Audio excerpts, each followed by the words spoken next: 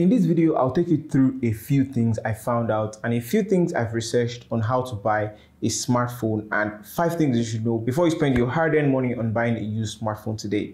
This video is brought to you by Business Day and without further ado, let's get to the video. Have you ever come across something like, bro, UK used iPhone 6s is 100k, brand new now 180k. Apparently, UK used iPhones are still so good here in Nigeria and UK smartphones are basically synonymous to already used smartphones. This video is simply going to be me giving you a few tips and a few things that I found out myself you know, buying flagship phones for a cheaper price. Flagship phones are already becoming more and more expensive. And quoting Mrwhosetheboss, there's already a psychological price ceiling of $1,000, which roughly translates to 360,000 naira. And spending that much on a smartphone when you can get a new version in a few months seems like a reach for a lot of people. So um, people buy used flagship smartphones at a much, much lower price, getting the same value for less.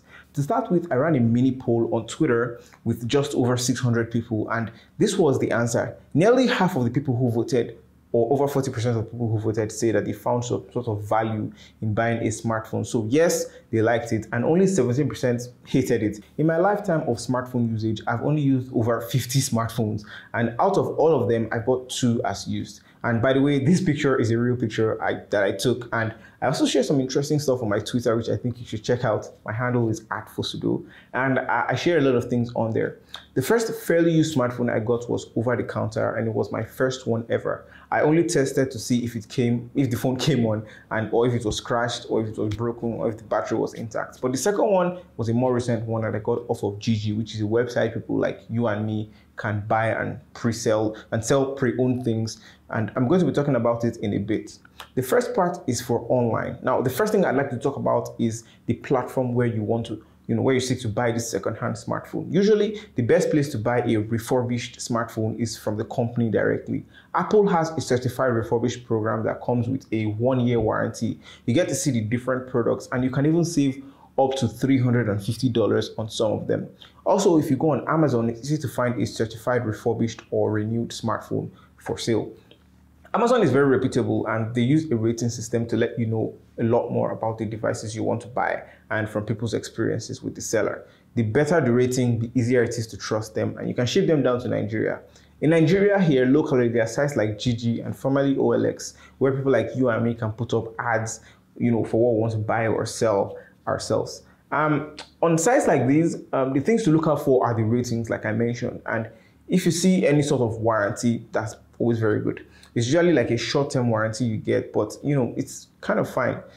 Also, you must make sure that there's some sort of return policy and make sure you read the description thoroughly to know the exact product you're buying. If there's a way you can contact the seller, please do. They show the seller's phone number on the site like Jiji and they have a live chat platform where you can chat directly with the seller. The second thing we need to know is what to ask the seller. Now, when I made a purchase of the smartphone I did online, um, I had to ask a few things. First off, I had to ask for the condition of the device. I asked the seller to send me images and you know maybe he could send me a video. So the seller actually sent me a video. You want to know the age of the device how long this device has been released on your own and how long this device has been in the hand of the user. Usually for most fairly used smartphones or flagship smartphones is between one to two years. The price would already have been displayed on the website. So um, that's something you don't need to ask. And if you can you might still be able to negotiate for the price or know if there's any extra tax or charge that might accrue now, the second part of this video is the offline part. Now, the next thing I'd like to know about when you're buying a fairly used smartphone is the pre-owned condition. In other words, you want to find out if the smartphone was stolen or if it was repaired. This would work when you're considering buying offline or when the seller you contacted online brings the device to you. A demonstration. First of all, this is my iPhone XS Max and more often than not, people tend to buy iPhones fairly used at a higher end price. People also tend to buy higher end Android devices like the Pixel and the Samsung S series devices. This tool called the imei.info, which I'll leave a link to in the description below, will show me everything I need to know about this iPhone. That's based on its IMEI info. Here we go. So firstly, on my iPhone or any iPhone or even any phone, um, you can dial star hash 06 hash and you get a pop-up showing your IMEI number. Now, if this doesn't work, run. Um, then you just have to go on to imei.info and input the IMEI number you just saw. And then you see all the details you need to know whether the iPhone is an actual iPhone as they claim and not something else, maybe like Amala or something. Android devices are much harder to know exactly because they easily they're easy to wipe However, getting into the settings, you can check for like the existing accounts that, that were on the phone. And this helps you know if it is pre-owned, if it isn't wiped correctly. Now at number four is the physical condition. This is the first step in knowing about pre-owned or pre-conditioned smartphones. Um, to know the condition of this device that we want to buy, to examine the physical aspects, and we have to look at the phone itself. You have to check for dents to see if the phone is charging. You have to you have to also carry a power bank, you know, have a power bank handy check the speakers, check, you know, play something with the phone. And speaking of power banks and the battery life, the battery life is a major thing to note when you're buying a fairly used smartphone. On your iPhone, if you go to the battery and battery health, you'll most likely see just how easy it is. And you, you can check the battery capacity to a maximum. On Android devices and even iPhones, you can download the pro version of Geekbench 4 to see the battery data and although some Android devices, you know, have their custom ROMs, they go deep into the battery specs. So at number five, you should consider swapping. In the earlier part of this video, I mentioned that people get to check out the company's website itself for refurbished sales.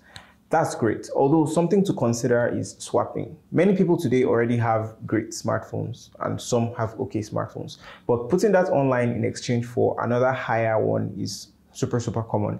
In, currently in Computer Village Lagos, there are offers to swap something like an iPhone 10 for a 10s Max, and you only get to pay half the price when you're giving a one-year-old flagship for a brand new device. I bought the iPhone 10s Max and I bought like three of them. The third one I got, I actually swapped the iPhone 10 for the 10s Max. Now, Tecno recently announced on Twitter that they are taking old smartphones for new smartphones, and you also get a discount when you get a screen protector. All in all, reading the fine print is what matters in these cases, so you know exactly what you're getting. And you can check out my channel for more interesting reviews. That's pretty much it. Those are my top tips for getting a fairly used second-hand or UK used smartphone. Did I miss anything? Let me know in the comment section down below. Thank you for watching and I'll talk to you guys in the next video.